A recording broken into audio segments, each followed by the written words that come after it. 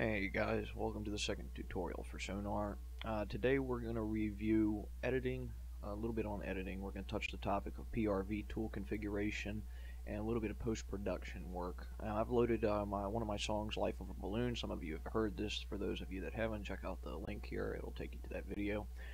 Um, a lot of problems that I see are legato phrases are not patched correctly because take take for instance this oboe solo. We've got um, these patches are in sync with each other. Instead of people, you know, overlaying a little bit to get a legato phrase, they're separated because they're leaving them with this little bit of gap in between them.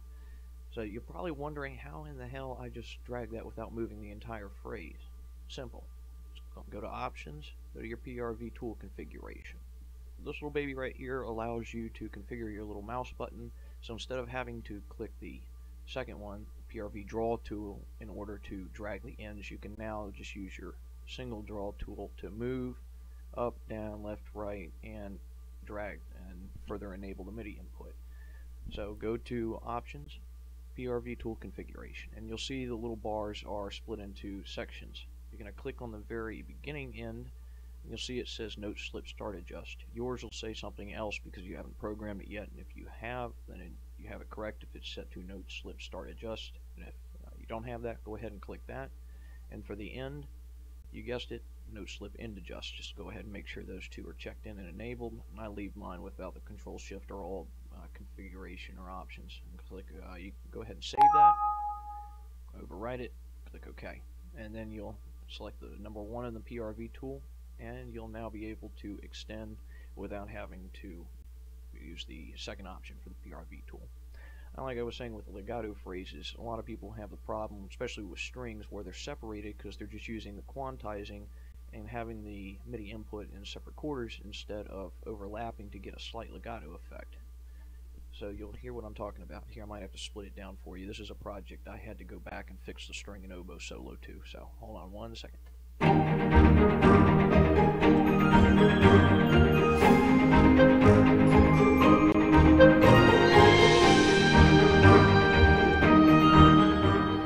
String in the oboe section is now legato because I have those overlapped. Instead of it being separated, like most people use by keeping the inputs together or quantized through quarters, I overlap mine with just a little bit so it gives a legato type feel. Get on here and I'll solo the oboe for you.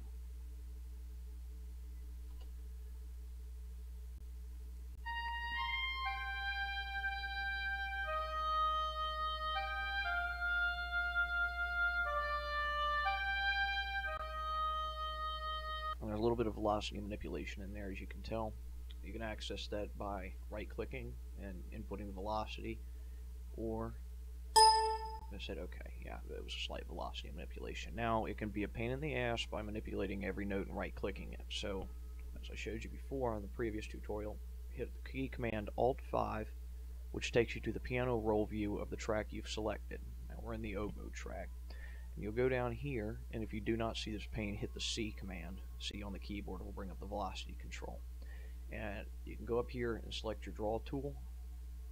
And this is the velocity curve. You can actually draw your own velocities instead of having to go in and click each one individually. This was a godsend for me because it took me two years to find this after I was right clicking every note to enter the velocity. So it is a helpful tool. You can add your crescendos, your decrescendos, your messa di voces—it just depends on whatever you want. It's just a hell of a lot simpler than going in there and right clicking each note. Just remember that each track you want to track view or piano roll view you have to select. So if we wanted to do the circle bells, hit Alt F5 and there's the circle bell phrase. You have to excuse me, I'm using a handheld mic because my other one was giving me way too much feedback. To expand the view, you can hit Control and right arrow as if you want to zoom in. That way you can see the individual velocities a little bit better. You can edit them from there. So that's a neat little trick. Alt 0 to get back to the piano, or track view.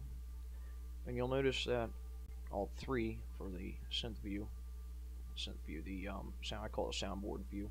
I had to turn this down because I'm still recording and it will blow your ears out through the software if I try to you know play some notes back. So this is kind of touching lightly on the um, editing phase and I'll go ahead and go over the aim assist. This is a new feature in 8.5 and all it really does is you know let you know where you are in the timeline here in the ruler if you wanted to edit. Of course you can see that it's not quantizing to the quarter notes so you can fix that by going up here to the snap to grid button. enable that and you can change if you want to snap to quarters, halves, eighths, triplets. It's the same thing as a quantizing button. I usually do eighth notes since unless I'm working with sixteenths it automatically go ahead and snap to the eighth notes for me. You'll see there. And that way, I, when I copy and paste, I don't have to go in and let's see. I'll show you. By the way, those key commands are Control C for copy, Control V for paste. And you'll see here it, it gives me the option on pasting on the and of the th third beat in the fifth measure. So instead of me having to do that, you know, enter it manually, I can automatically just click and it takes me to the eighth notes or the beats. I'm sorry about the beeps there. There you go. So we've touched a little bit on the editing phase and looking to see if I can come up cover anything else real quick for you. I don't think I can, so I'll put up the next tutorial. Don't know what it's on yet. Hopefully I get some messages. You guys can give me ideas. Hope this helps you. See you guys.